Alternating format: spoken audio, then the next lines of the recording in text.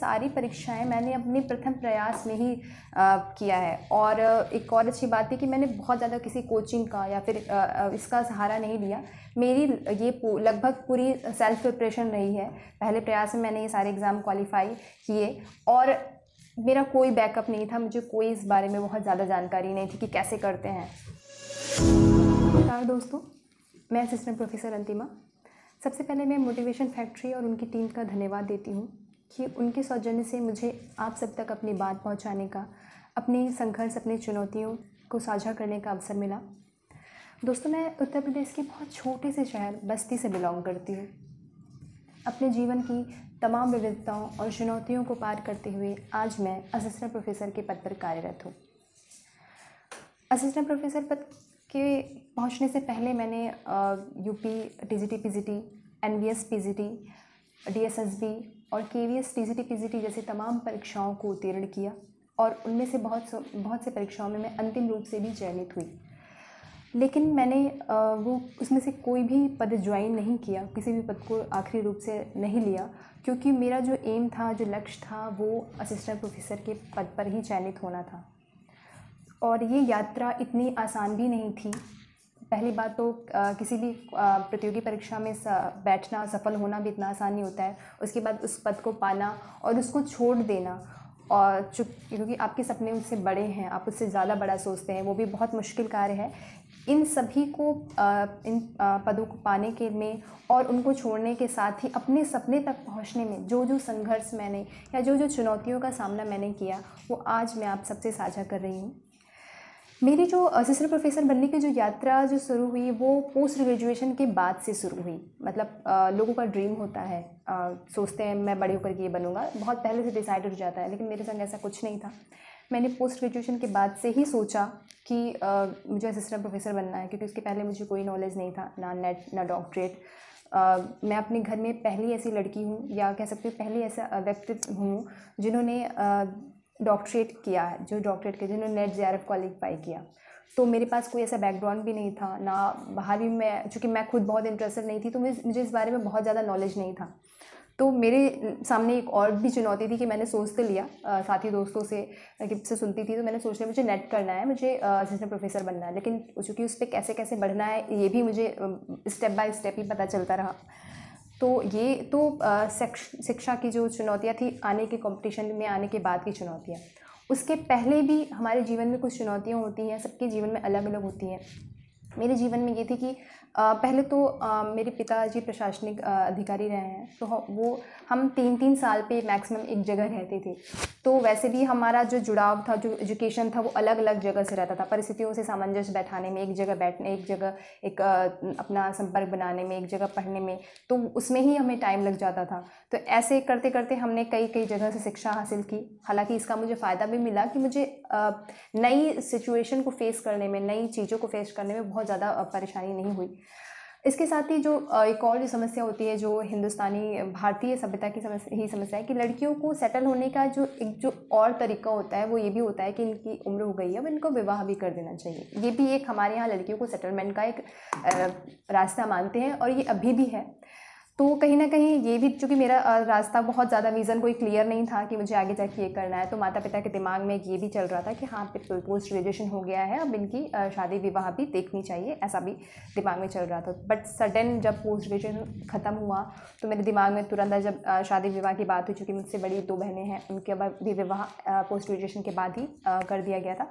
तो मेरे सामने भी एक यही विकल्प था, ये घर वालों की ऐसा मजबूरी नहीं है, ये हमारी हिंदुस्तानी सभ्यता की ही देन है कि लड़की पोस्ट तो आज बहुत बड़ी बात है। लेकिन अगर पोस्ट पे पहुँच जाती है तो कहीं ना कहीं उसके विवाह के लिए लोग चिंतित हो उठते हैं। तो मेरे साथ भी ऐसा ही था, लेकिन उस सिचुएशन जैसे ही मेरे सामने वो सिचुएशन नहीं मेरा दिमाग में तुरंत ऐसा होगा कि नहीं, मुझे अभी ये नहीं करना। मुझे अपना करियर बनाना है, मुझे भी सोचना है, मुझे अपने पढ़ाई लिखाई को आगे बढ़ाना है। तो मैंने उस वक्त ये, त्वरित ये फैसला लिया कि नहीं, मुझे अभी विवाह शादी विवाह नहीं करना है, मुझे अपना करियर बढ़ाना है। शुरू में माता पिता को कन्विंस करने के लिए थोड़ी सी प्रॉब्लम हुई। शुरुआत में मुझे छः छः महीने का ही टाइम दिया गया कि ठीक है, अभी तुम छः महीना देख लो, आगे तैयारी करके देख लो कि कुछ रीज़न क्लियर होता है तो हम और टाइम देंगे। नहीं होता है तो नहीं फिर हम और भी दूसरा भी रास्ता सोच रहे हैं। तो इसलिए वो प्रेशर भी था कि कुछ ना कुछ जल्दी जल्दी परिणाम करके देना है। जैसे कि मैंने पहले बताया कि मेरे पास पहले से कोई प्लान नहीं था, पहले से कोई विज़न नहीं था कि मैं पहले से तैयारी करके रखी हूँ कोई प्लान बना के रखा हो और उसे मैं मुझे बस फाइनलाइज करना है। तो उन समय मैंने पहली बार नेट और जेआरएफ का एग्ज़ाम दिया। तो नेट आ, मैंने टच मैंने नेट और जेआरएफ दोनों क्लियर किया। और इसमें मुझे इंटरव्यू में सबसे अच्छे सबसे ज़्यादा नंबर मुझे मिले थे। ये सारी चीज़ें कहीं ना कहीं ख़ुद को मुझे मुझे भी कॉन्फिडेंस को बढ़ा रही थी और मेरे घर वालों को भी ये सपोर्ट कर रही थी कि नहीं ये पढ़ रही है, तैयारी कर रही है तो इसको और मौका देना भी चाहिए। तो मेरे घर से मैं पूरी तरीके से स्वतंत्र रही कि अब मुझे कोई प्रेशर ऐसा नहीं था कि नहीं अब इसको कुछ और भी सोचना है। इनफैक्ट जब पहली बार मैंने जॉब पाई, मुझे पीसीटी की जॉब मिली तो ये जॉब सब का यही कहना कहना था कि पहली जॉब है, इसको ले लो, इसके साथ तैयारी करो। लेकिन कहीं ना कहीं एक तो ये नौकरी मुझे बहुत दूर मिली थी। और इस, मुझे जित, मैंने जितना लोगों से सुना पड़ा कि शायद तैयारी मैं ना कर पाऊँ, मेरे दिमाग में बहुत ज़्यादा हेजिटेशन था कि मैं आगे तैयारी कर पाऊँगी कि नहीं, पढ़ पाऊँगी कि नहीं, इस नौकरी के साथ पढ़, पाऊँगी कि नहीं। तो मैंने फाइनली डिसीज़न लिया कि मुझे ये जॉब छोड़ देनी है। ये भी मुश्किल था क्योंकि जॉब मिलना ही बड़ा मुश्किल काम होता है ये जॉब मैंने लिए बिना ही मैं छोड़ दी, बहुत लोगों का प्रेशर भी था। तो मैंने उस बारे में दोबारा भी कोई विचार नहीं किया, मैंने उसी वक्त वो जॉब छोड़ दी। उसके बाद फिर मैं अपनी तैयारी शुरू कर मैंने शुरू की असिस्टेंट प्रोफेसर के लिए। इसी के पीछे मैंने P G T D S S B की परीक्षा भी क्वालिफाई किया। असिस्टेंट प्रोफेसर के पद की बात करें तो मैंने हिमाचल प्रदेश कमीशन से भी परीक्षा पास की उसकी मैंने रिटर्न परीक्षा पास की उसमें मैं अंतिम रूप से चयनित नहीं हो पाई।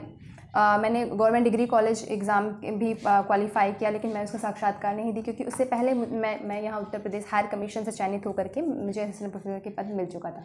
इन सबसे जो में जो बड़ी और अच्छी बात ये थी कि ये सारी परीक्षाएँ मैंने अपने प्रथम प्रयास में ही आ, किया है। और एक और अच्छी बात थी कि मैंने बहुत ज़्यादा किसी कोचिंग का या फिर आ, इसका सहारा नहीं लिया।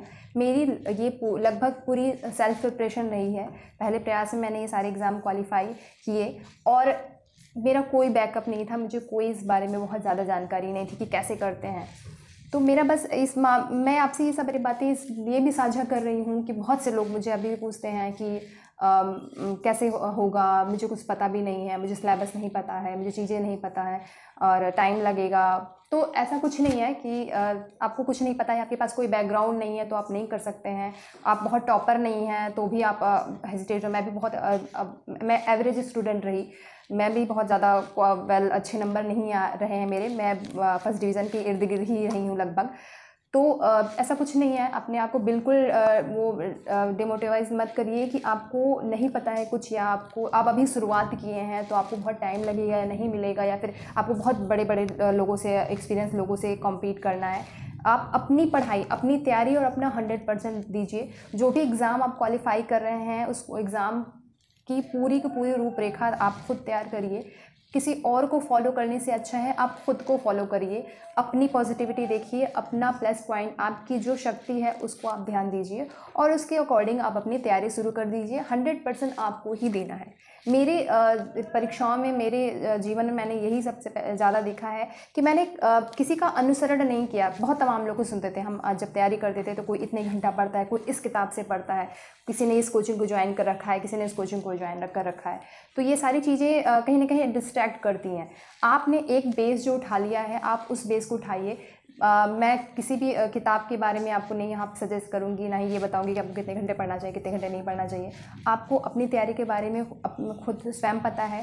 सबसे पहले जो बहुत ज़रूरी है कि आप एक एग्ज़ाम को टारगेट करिए और पूरा टाइम उसको दीजिए। बहुत से लोगों के संग ये भी समस्या होती है कि किसी की घर की लाइफ नहीं से चल रही है, किसी दूसरी लाइफ नहीं चल, सही चल रही है। तो मेरा ये भी सजेशन है कि आप अपनी पर्सनल लाइफ को और एग्ज़ाम अपनी कॉम्पिटेटिव लाइफ को बिल्कुल भी मिक्स ना करें।